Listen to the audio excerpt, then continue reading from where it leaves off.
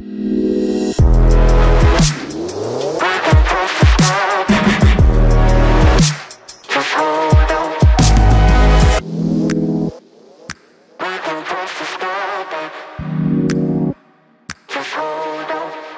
welcome back to the channel. I am this weekend doing two time trials. Well, one individual, one team time trial, but with a difference. I'm not here for me.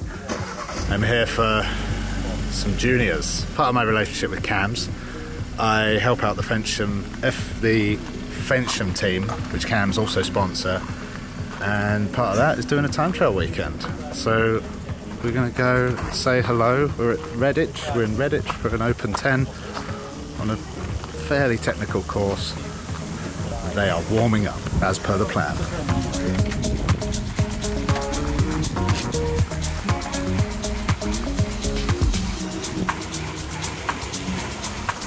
It's the most aero you'll ever see these two because the camera's running.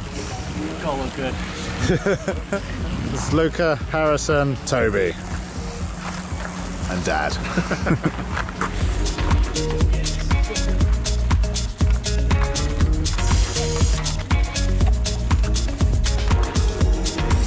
right, so our first lad, Harrison's off. Or he should be off. He definitely came this way because he came out of the junction up there before Yeah. me in the car and I was quite a bit back, but then he wasn't there. He's just gone for a pee or something like that. But Part of this is to. The element of leaving them to their own devices to get themselves to the warmed up and to the start line by themselves. Someone's not always going to be there to do it for them. We might have had our first, and hopefully his last late start. this isn't him, is it? He's got a. Uh... What time did you say Luca was off? Sorry? 10.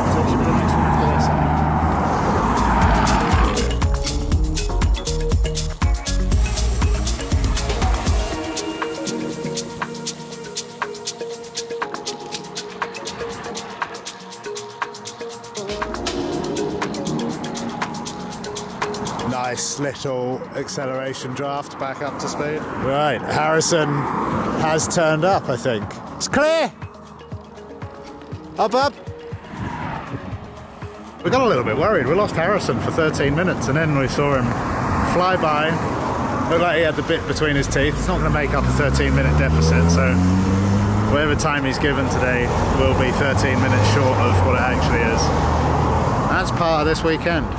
You got to be able to get yourself to the start line. And as he as he left HQ, he was uh, saying, "Which way is it to the start?" It's kind of need to know this stuff because even even when I was a pro, there would be moments where you leave the bus and you ride by yourself to the start. So uh, yeah, I'd imagine this is the last TT start that Harrison ever misses. Part of the process.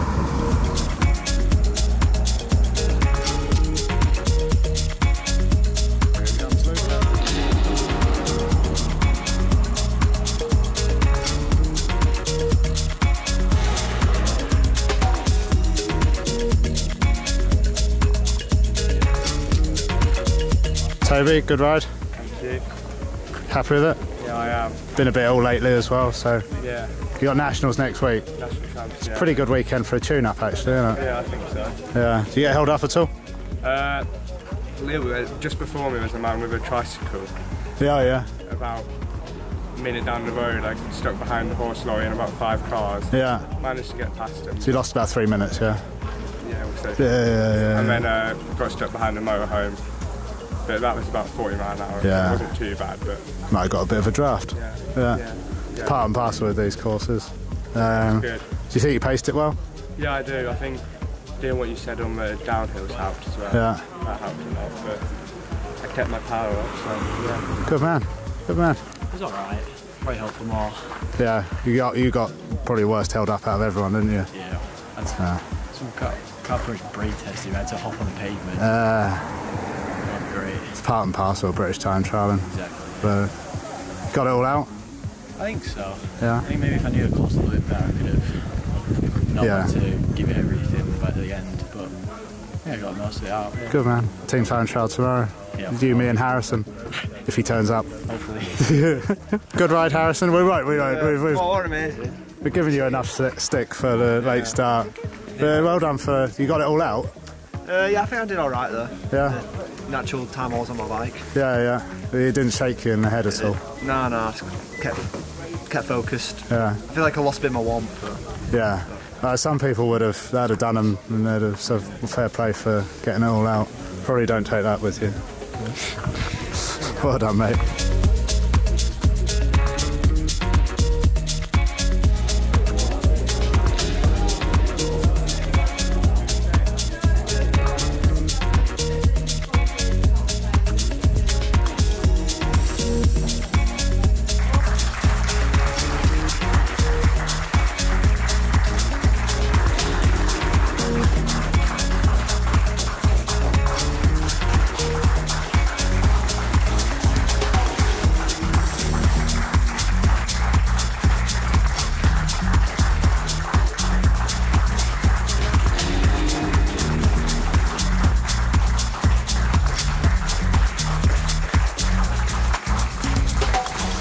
Day one done. Um, it was nice. It was nice. So Toby was quick.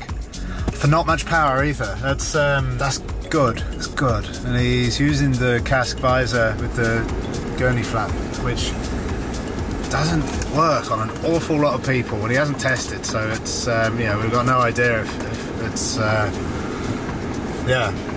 So Harrison, it was good. Harrison kept his head on despite missing the start by 13 minutes and just made a made a good job of the day. And yeah, I think Luke had a few hold ups. So he's uh, for tomorrow. Team time trial nationals. CTT have let us come in as a composite team, uh, two composite teams, and I'm with Harrison and Luca, and then Toby is with Oliver Dawson, who is Kevin Dawson's son, uh, legend of the time trial scene, and James Jenkins, who I have roped in to uh, assist. We are first and second team off, and yeah, I think we can we can give the quick men's teams something to think about. Expecting to be the stronger of the three of us, but I am going to ride to their abilities, not mine, and then maybe towards the end, if depending on what I've got, start really leaning into it. You know, because this is a learning exercise for them. Um, experience and, and yeah, I don't think a team time trial if you're taking an absolute belting, it's not really a productive experience. Want them to feel like we're riding as a unit, not um, as a one and a one and two. I think I don't know how to explain that best, but that's the plan. Anyway, time for a Premier Inn, some dinner, an early night.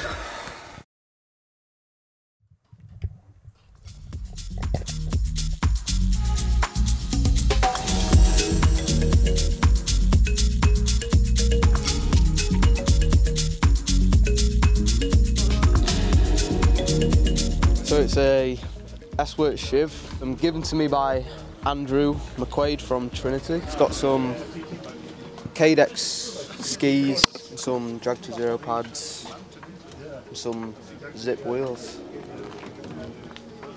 Not too bad. So we're on CTT Championship Day, something I'm very familiar with. I have a lot of silver medals from these events. Um, team time trial today. Here with two with the Fensham boys, two composite teams. So we don't count for results officially. So I actually cannot get a silver medal today, even if we were in line to win a gold medal. It's all just part of this weekend's like learning process. Uh, it's going to be hard. It's a rolling course, 25 miles, three start and three to finish. So really, the focus I've said the focus for us is going to be managing the first half, making sure we're riding each riding within our abilities, so that we're not losing losing out big time. Kind of implode. Um, there's going to be some team explosions, I think, today from other teams, hopefully. Considering all the boys ride for different teams, we're quite well re- represented with Nopinz. Uh, obviously, I'm in full Nopinz hypersonic get up with my knee length socks, over socks. Luca Bednarek, who rides for Bottrell when he's not riding for Fensham, he's in hypersonic. Toby Bush also rides for Bottrell, but I don't believe he has hypersonic. I think he has the old uh, Endura encapsulator um, kit still, which is good suit. We've also roped in, so it's two teams of three. So we have two composite teams here. James Jenkins, who is in a Rapha skin suit. he did a 50 yesterday in an hour 36. 50 miles in an hour 36. Off like 320, no, 310 watts or something. Like that's. Maybe the Rapha suit is quite fast. Yeah. But he would have gone a minute faster in Nopinz. You can put that in. Ollie Dawson, uh, who just met with his very detailed bike bike spec check, and um, and Harrison Dainty. My team is Harrison and Luca. Toby's team is Toby, James, and Oliver.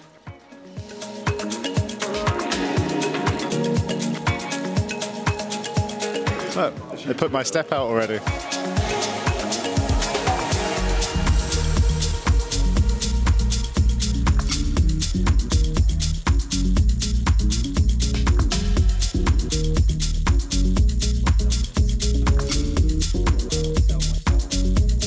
Jake Sargent, rider for Team Bottrell here with my teammates. Um, we're in Gloucester, Maisemore for the National Team Time Trial Championship. We're defending team, so we're, we're here to win, but fierce competition as always.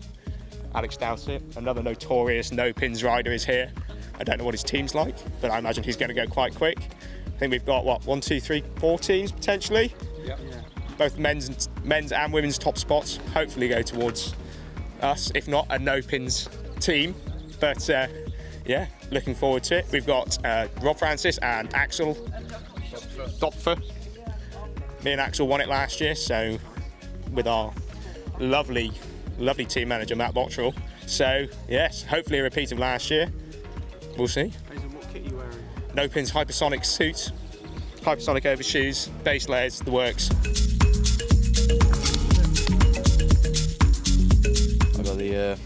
No pins hypersonic skin suit on the uh, undervest on as well. What's the point? Go quicker. yeah. So I was um, doing a 50 and I put a bladder down um, the skin suit so that I could hydrate as I was riding. And yeah, so I could pump it back up with air afterwards.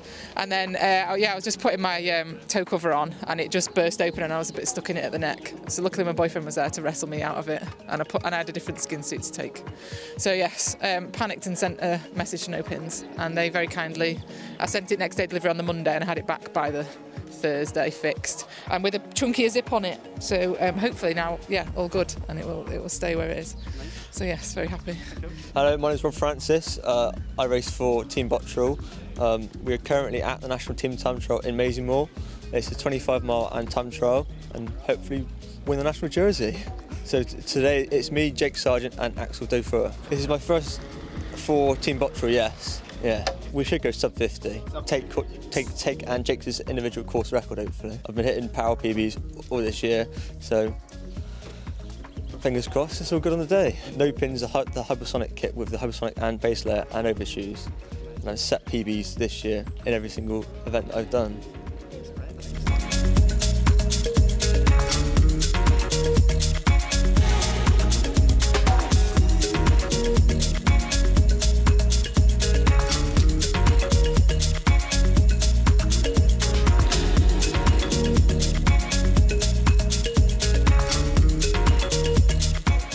Wins. I'm going to say bike fit and clothing. Your body's the biggest part of the system that's moving through the air. Most bikes, there's not a whole lot you can do with these days. They're pretty integrated, they're pretty clean at the front end, so chasing chasing watts on there is going to be a really expensive task. But best value for money, going to get a bike fit, get your position optimised. Matt Bottrell, first, first person that comes to mind, obviously. A few hundred quid, really optimise that, and then you think, got your position optimised, you need to cover yourself up.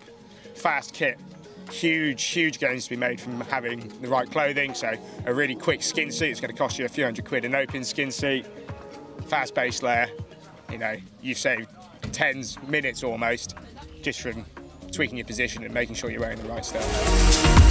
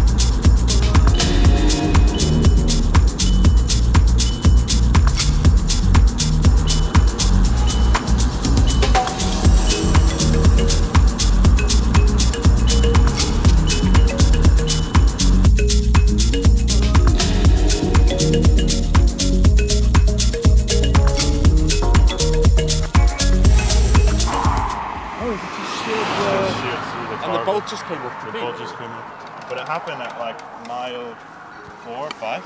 So I've ridden like half of the race. Just pressing it down. Pressing it down Like, and over it. yeah.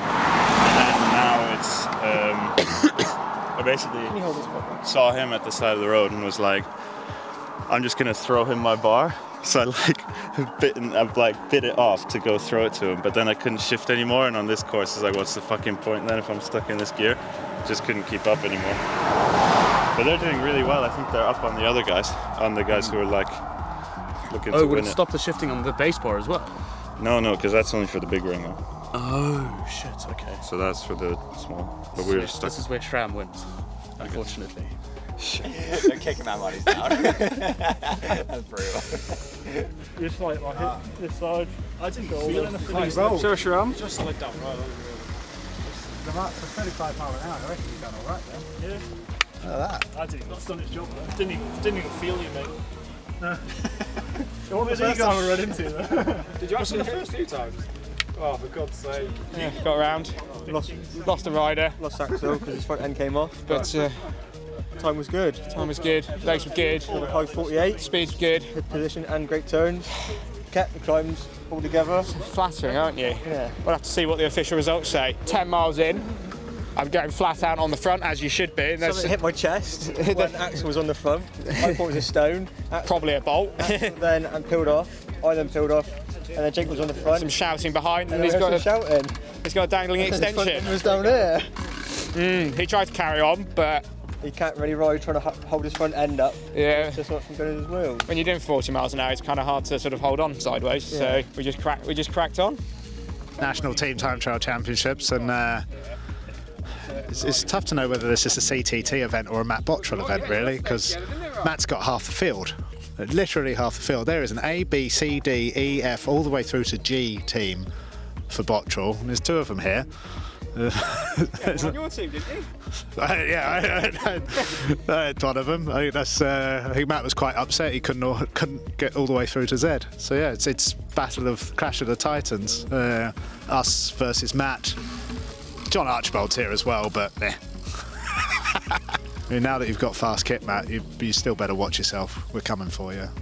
We're good. We're all good. We're- I think considering it under 18 or juniors under 18s, I think we've done ourselves quite proud. We're about a minute off, minute or two off the winning time. Um, on a course like the, the gaps would be closer if this was a faster course. And I think hearing what happened to other teams with punches, crashes, broken handlebars, I think we did well to come away relatively unscathed, to be honest, and have like uh, we were managing. My, my team was managing Harrison. Uh, James Jenkins' team was they had a good, solid return leg. Yeah, hopefully they've taken a lot from it as well. I know they have. They've got national TT champs next week. So with a 10 yesterday and uh, and this today, I reckon that's a really nice TT bike hit out. Certainly Ollie was saying he's changed his position a bit and was getting some hamstring issues. So highlighted that another ride or two for him is probably needed before Saturday. Yeah, uh, Harrison needs to work on just sitting on the only Harrison was more than strong enough. It just it's, it's difficult to sit. He needed to sit a little bit closer to the wheel than he was, which is I think really what buckled him. And then when that effort gets on top of you, making those decisions, adjustments, like having to think. Like once the effort's on top of you, your ability to think uh, becomes far less, um, which would have really uh, made his life like exponentially more difficult to sort of do do a good ride. So I think this has been a very productive weekend for the Ven- Fensham boys, to be honest. So uh, and I hope they'd agree, but they're, they're juniors, so they're, they're men of few words generally. Grunts, they grunt. Is that all right? Oh, it was good. Uh, it's just nice to get out there and ride with the boys. You know, like joking aside, before the, the start, obviously said we were going to smash Dowsett. I don't think that quite happened. But yeah, no, for us, uh, for our, our team, it was just really good. You know, like we managed to get four teams here today. Obviously, we've, we've pulled off the win with our 18, but unfortunately we had the mechanical. But for Jake and uh, Rob to have ridden like a 48 round here is pretty incredible. Testament really to you know, not only the, you know the training that, that we're doing with the, the athletes, but just like the you know the clothing that we're wearing, we've definitely seen like a performance game, you know, overall. So uh, if we can have achieved a win with the you know our female athletes and the men in. Uh, well, it's not going to be our men, is it? 'Cause you have to qualify with three, but it, it should have gone that way. It's just unfortunate, but it, it's good to see, you know, like the results that the team have had like this year have just been phenomenal, really. Uh, and obviously now we're coming into the prime time for the national championships. Yeah, everybody's looking really good. Uh, obviously, we'd like to come away from this with some medals uh, and do do the brand of Nopinz proud. That's what we what we want to do, really. So uh, we'll keep pushing. Nopinz are, are listening to our feedback with the, the clothing and everything else. So it's exciting times.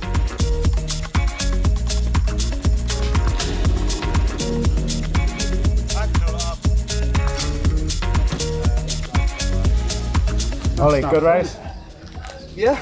Man, a few right. words. Simple yes or no is fine. Yeah. Good. JJ, good race? Yeah. Cool. Yeah, Luca? very pleased with it. Harrison? Yep. Everything, got everything out, Harrison, didn't you? Yeah. Yeah. JP, happy? Oh, buzzing. Yeah. yeah. Good. Toby? Yeah. Good day? Yeah, You had a good ride, didn't you? It was alright. Yeah, you were buzzing afterwards. Yeah, just Yeah. a bit Harrison. Biggest competition. I reckon the person that learnt the most from this weekend, though, is Harrison. So next weekend. Turning up. Next weekend, you're in trouble. that was great. It was great. We'll uh, do a full debrief in a minute. We'll go see what the times are, see what the big boys have done, and see if we uh, gave them something to think about.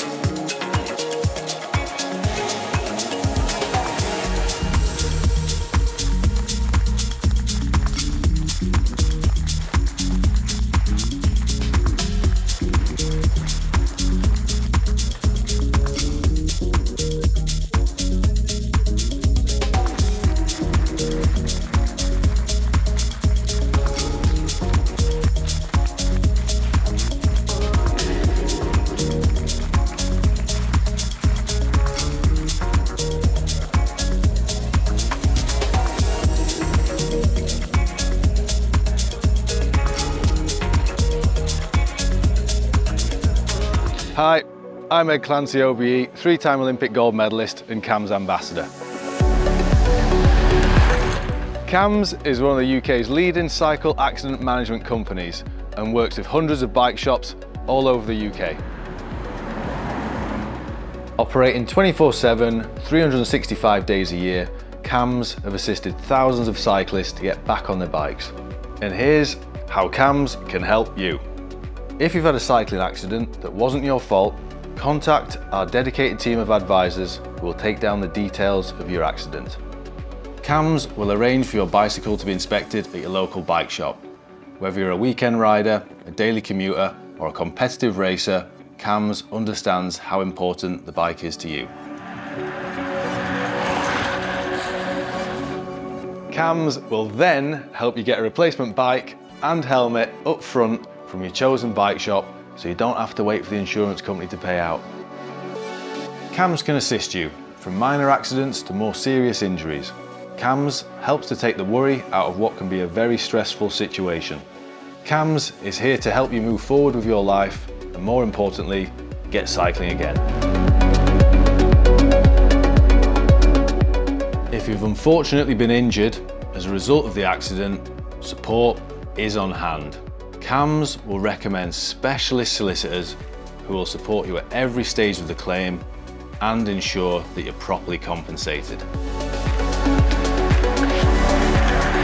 With over 25 years of experience, CAMS are a team of friendly expert professionals who will get you back on two wheels.